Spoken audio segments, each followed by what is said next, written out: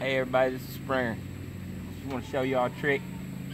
This old hen, she's too old to be laying and caught her in the house in there all bowed up.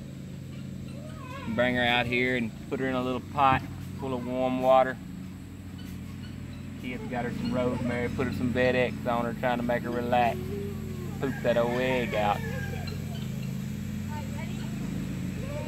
Y'all want to keep a hen for a long time, you got to be watching them because this happens pretty often. And this is the way to fix it.